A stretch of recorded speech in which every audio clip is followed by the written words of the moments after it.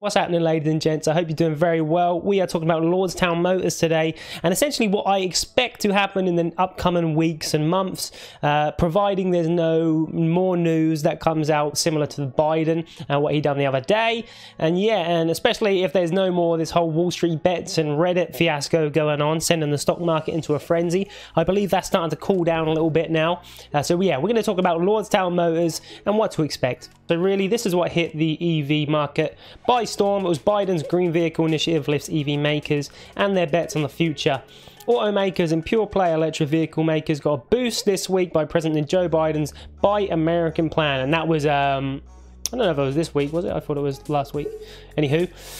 Shares of pure electric car makers Tesla, Lordstown Motors, Workhorse, Fisker, and Nikola Nikola rose following the announcement, and even shares of Chinese uh, Chinese EV maker NIO saw a pop after the plans were revealed. So this tells me that people were very excited with the news, uh, bought in obviously out of fear of missing out, thinking that there was some uh, uh, announcement going to be released, maybe the USPS contract was going to be, uh, be, released. I don't know. Sent the EV market into a frenzy. It set unrealistic uh, price projections across the border. I think especially that week we had Virgin hitting up as well, and we had pretty much any and every company um, spiking. It was incredible. Palantir, I think, went up crazy as well.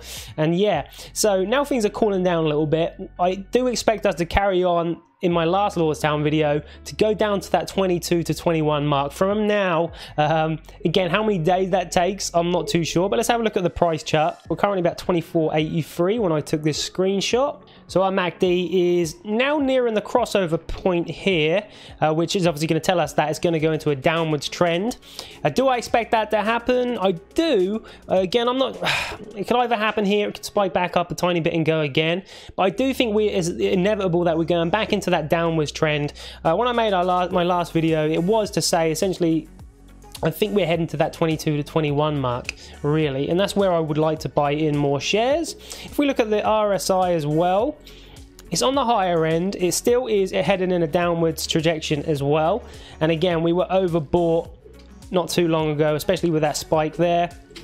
Uh, and yeah, hopefully we will carry on. I mean, I like to think of it this way, if the shares are going down, especially when there's not really any news release, it's a good buying opportunity because the, the company's fundamentals haven't changed for better or for worse. It's just crazy price action for not really much reason, to be honest. So hopefully the RSI continues to go down along with the, the MACD heading towards that 22 to 21 mark. Again, I could see it going up and down till then, but I do think eventually we're going to have an opportunity, whether how long that opportunity is, I do think we're going to have an opportunity to buy in at a lesser price. So I think the main point of note is that there has been no real news. Uh, Lordstown has obviously came out with their 100k pre-orders uh, news oh, I don't know, that was about a month ago, three weeks ago now, uh, which did spike this, uh, the stock. I did sell out and done a swing trade at that point. Uh, it came back down. I think I missed the boat a little bit. I did not expect the Biden thing uh, to, to happen, which sent obviously the stock's coming back up. And again, I'm just looking for that buying opportunity.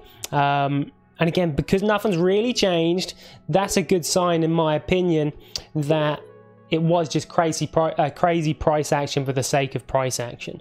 Uh, so let me know what you think in the comment section below. Do you think Lordstown Motors has changed for better or for worse? Do you have shares in the company? What do you think of the last sort of week and the Reddit and Wall Street bets? And talk to me in the comment section. I always respond. Uh, let me know if you are long or short on, on Lordstown as well. I'm always interested to hear. And if you want me to go into any other companies and have a little look, read some news on them, uh, let me know. Just remember, this is not financial advice. This is merely a place of discussion and reading some news, god damn it. Anywho, I'll see you in another video today, I think, or tomorrow. Who knows?